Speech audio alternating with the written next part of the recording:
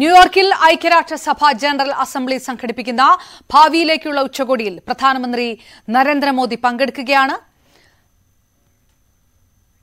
നരേന്ദ്രമോദി അസംബ്ലിയെ അഭിസംബോധന ചെയ്യുന്നു തത്സമയത്തിലേക്ക് दिया है और आज मैं इसी वन सिक्स ऑफ ह्यूमैनिटी की आवाज आप तक पहुंचाने यहां आया हूं फ्रेंड्स जब हम ग्लोबल फ्यूचर की बात कर रहे हैं तो ह्यूमन सेंट्रिक अप्रोच सर्वप्रथम होनी चाहिए।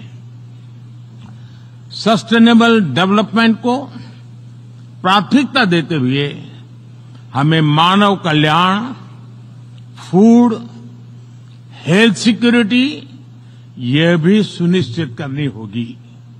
भारत में 250 मिलियन लोगों को गरीबी से बाहर निकालकर हमने यह दिखाया है कि sustainable development can be successful success का हमारा यह अनुभव हम ग्लोबल साउथ के साथ साझा करने के लिए तैयार है।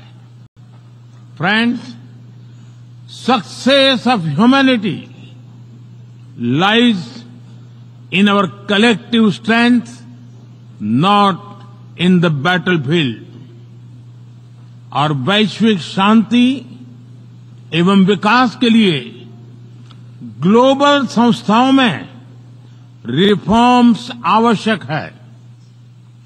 Reform is the key to relevance African Union को नई दिल्ली समिट में जी ट्वेंटी की स्थायी सदस्यता इसी दिशा में एक महत्वपूर्ण कदम था।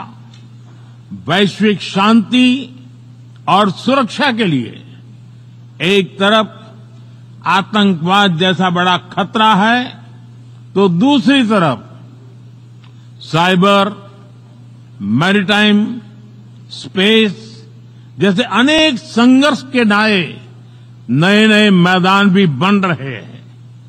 इन सभी विषयों पर मैं ज़ोर देकर कहूँगा कि global action must match global ambition. Friends, technology के सेफ़ और रिस्पॉन्सिबल यूज़ के लिए बैलेंस रेगुलेशन की आवश्यकता है। हमें ऐसी ग्लोबल डिजिटल गवर्नेंस चाहिए जिसमें राष्ट्रीय संप्रभुता और अखंडता अक्षुण्ण रहे। Digital public infrastructure should be a bridge, not a barrier.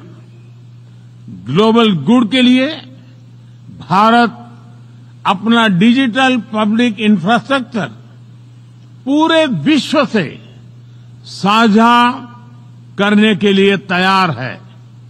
Friends, Bharat के लिए one earth, one family, one future एक कमिटमेंट है।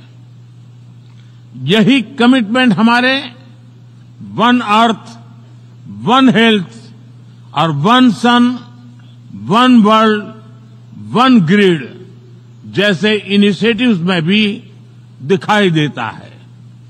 पूरी मानवता के हितों की रक्षा और वैश्विक समृद्धि के लिए भारत मानसा, वाचा, कर्मणा से काम करता रहेगा। बहुत बहुत धन्यवाद। പ്രധാനമന്ത്രി നരേന്ദ്രമോദി യു എൻ ഭാവി ഉച്ചകോടിയിൽ സംസാരിക്കുകയായിരുന്നു.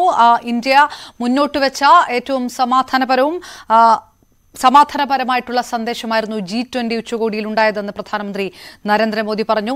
ഒരു ആഗോള ഡിജിറ്റൽ ഭരണത്തിന്റെ ആവശ്യകതയാണ് ഈ നിമിഷങ്ങളിൽ ഉണ്ടാകേണ്ടത് ഈ ലോകത്ത് എന്ന് പറയുന്നു. ഒരു ഒരു ഭൂമി ഒരു കുടുംബം ഒരു ഭാവി. അതാണ് ഭാരതത്തിന്റെ ഭാരതം മുന്നോട്ട് വയ്ക്കുന്ന ലക്ഷ്യമെന്നും പ്രധാനമന്ത്രി Narendra Modi U N future four സമ്മിറ്റിൽ സംസാരിച്ചുകൊണ്ട് പറയുകയുണ്ടായി.